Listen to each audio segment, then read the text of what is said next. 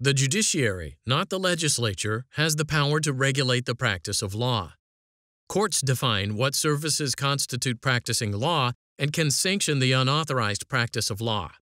Campbell v. Asbury Automotive Incorporated considers whether the legislature has usurped this judicial function. Otis Campbell and others purchased vehicles from Asbury Automotive, a car dealership. Asbury prepared a contract for the vehicle purchase.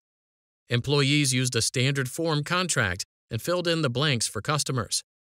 Asbury charged a document preparation fee for this service. The customers later filed a class action suit against Asbury.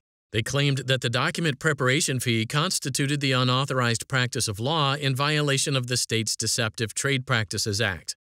They also claimed Asbury violated a statute prohibiting non legal corporations from practicing law. On the Deceptive Trade Practices Act claim, the trial court entered summary judgment for Asbury because the act had been construed not to apply to the unauthorized practice of law. On the other claim, the court entered summary judgment for the customers.